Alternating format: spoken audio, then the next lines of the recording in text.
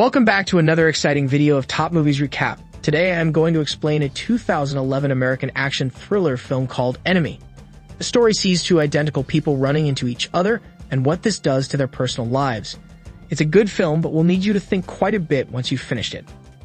So let's dive into the story, but before we start, don't forget to hit the like button and also subscribe to our channel to get some interesting stuff in upcoming videos. The story takes off from Adam's perspective as the enemy movie begins. He's shown to be a teacher with a dull and repetitive life. Even the sex is shown to be repetitive. This is indicative that Anthony is censoring information from himself. He feels in control by not letting himself know that his life and work is not really flamboyant.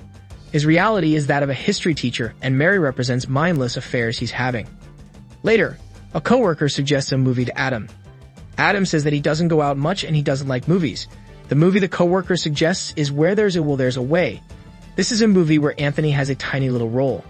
This suggestion of the movie is a mild awakening in the deep recesses of the mind. A small trigger that the Adam's personality is being given to understand that he's connected to Anthony. Adam watches the movie. He goes back to bed with Mary. He's aggressive with Mary in bed. There is a slight shift in Adam's personality. The subconsciousness is slowly beginning to connect with the main personality of Anthony, the assertive one. This is very subtle with Mary and he snaps right back to being Adam. She leaves. This scene with Mary is happening in the subconsciousness. She doesn't presently exist. We'll talk about why later. Adam remembers a scene in the movie where he sees someone who looks like himself. He plays the movie to confirm that one of the Bell boys looks like him. He checks the movie credits to identify that the actor is a person by the name Daniel. Daniel is the movie name that Anthony uses for his films. Adam searches for Daniel on the internet and finds pictures. Adam uses a portion of his own photo to verify that he looks like the actor. The torn photo is one part of the photo of Anthony with his wife. Remember, this is happening in his subconsciousness. The Adam personality has repressed the existence of his wife. In the subconscious mind, Helen has been removed. This goes back to censoring information. From the internet, Adam gets the information about the talent agency that Anthony works with and notes the address down. Adam visits the agency. Anthony, as the personality Adam, goes to the agency. He's greeted by the security who calls out to him as Anthony and says that he's not come by to the agency in about six months. Six months is how far along Helen is into her pregnancy. This only means that Anthony gave up on his acting career as soon as Helen conceived. He took up another job that gave a consistent income. Perhaps a teacher, perhaps not. The security hands Adam an envelope. This envelope is temptation. We'll get back to this in the end. From the envelope, Adam gets Anthony's address and phone number. He calls the phone number. Helen picks up. She hears Adam. But it's actually Anthony as Adam's personality. So she recognizes his voice and calls out to Anthony. Adam can't understand how the lady on the other side is confusing his voice with another person who looks like him. So he realizes not only does he look like this Anthony, he also sounds like him. He hangs up. Later, Adam calls Anthony. This part is in the subconsciousness. This is basically Anthony being reached out by Adam from within his subconsciousness. Adam wants to meet Anthony. We're immediately shown Anthony talking on the phone. When Helen asks him if he was lying about who was on the line, Anthony struggles to answer. Perhaps he regularly lies to her about certain phone calls. He cheats on his wife. This one time he perhaps did not, but he usually does. Hetzi stammers. Helen gets suspicious and accuses him. Later, Anthony looks up for Adam on the internet. In secret, Helen looks into Anthony's trouser pockets to locate Adam's details. She too looks up Adam. Both of them locate the university he teaches in. Next day, Anthony calls Adam saying that he wants to meet again, a conversation with the subconsciousness. Helen lands up at the university to see Adam. She talks to Adam and is heartbroken. Observe here that Helen is not surprised, she's upset. She's seeing Anthony who appears to be acting and talking like an Adam. She begins to understand that this version of him seems to be an alternate personality kept away from home. He's compassionate and converses sweetly with Helen. He cares for her pregnancy and asks how far along she is. Helen calls Anthony's phone. Only after Adam leaves from Helen's sight does the phone get picked up. Anthony answers. This is confirmation enough for Helen that her husband has multiple personalities. This scene is not within the subconsciousness. Helen is a character outside of Anthony's mind. This scene confirms that even in real life, the Adam personality exists as a teacher. Back at home, Anthony appears back after a run. He asks for organic blueberries.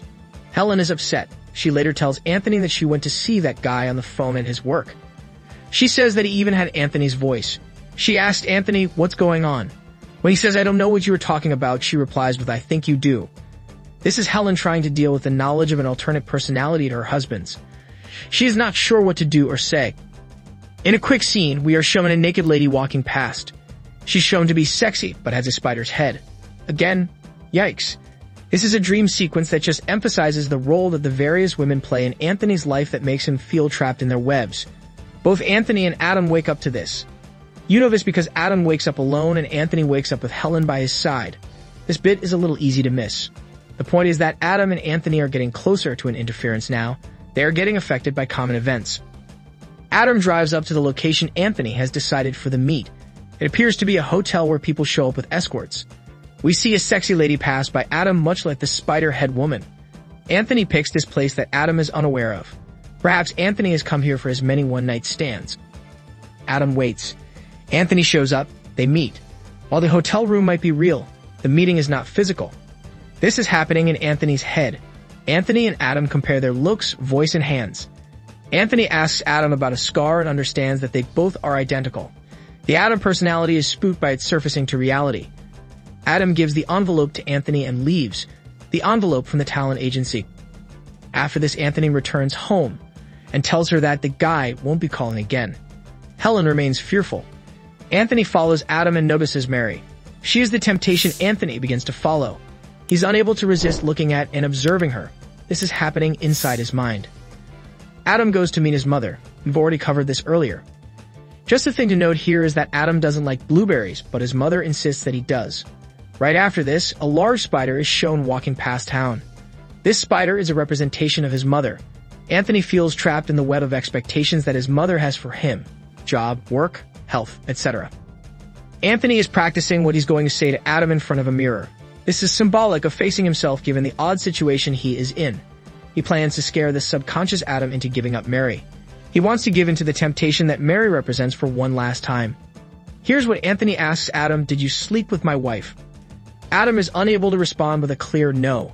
He's being intimidated. Adam's personality is doing the right thing by taking up a profession which is consistent with the upcoming responsibilities of a baby. Adam needs to be the one with Helen, not Anthony. Anthony wants to have one last fling with the temptation Mary and then leave forever. Anthony poses as Adam and leaves with Mary inside the subconsciousness. Adam goes home to Helen in real life. When at his house, the building guy meets and lets him into his house. On the way to the apartment, they have a word about a new set of keys to the sex club. This man was in the club in the first scene too. Like Anthony, this man too indulges in other women. Adam, however, doesn't know him, only Anthony does. Adam's personality is coming to Anthony's house for the first time. He doesn't know which door is the one to his house. The maintenance guy lets him in. Inside the house, Adam changes to Anthony's clothes. He notices his picture with Helen the complete one. Adam's personality is slowly taking over in real life. Anthony is moving deeper into the mine and is with Mary in a subconscious hotel room. Adam is being nice to Helen. She probably feels the way she once felt when she first met Anthony before his cheating started. She suspects that the person who's in her bedroom is actually the history teacher because of his mannerisms, and he brings up that she is six months of pregnancy. She asks him to come to bed. He does. She looks at him longingly. Then she asks, did you have a good day at school? This confirms that Helen knows which personality she's with.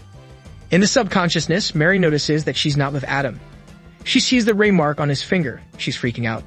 Anthony tries to calm her down. Adam wakes up in real life and goes into the living room. Inside his mind, Mary is angry with Anthony and the two leave the hotel. They're driving back. Adam is slowing beginning to recollect all the affairs he's had as Anthony. He's crying. He apologizes to Helen. In his subconsciousness, Anthony and Mary begin to fight in the car. Mary is annoyed that Adam is not with her. In real life, Helen tells Adam, I want you to stay. Helen and Adam begin to make love. Mary tells Anthony he's not a man. Anthony gets pissed off, and as he asks Mary to get out from the car, it swerves and crashes fatally. Mary and Anthony are presumed to be killed off in the subconsciousness. Adam is free of his temptation, Mary, and the part of him that gets tempted easily, Anthony. As we see a close-up of the crash car, we see the windshield broken in the pattern of a web. This indicates that the result of this accident is just another web. The reason I have been stressing Mary is not real is because of this accident. Anthony and Mary meet with this accident while Adam is safe at home.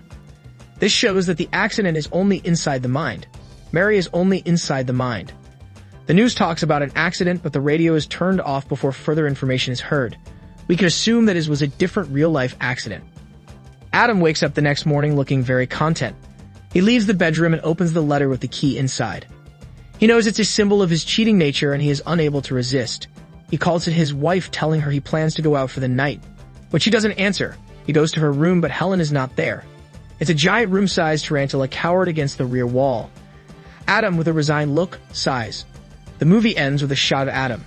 His expression isn't that of someone who is scared, rather someone who knows he must come to terms with the fact that he is no longer free to give in to temptation. If you did like this video, smash that like button and subscribe to our channel to stay up to date with the latest and interesting videos.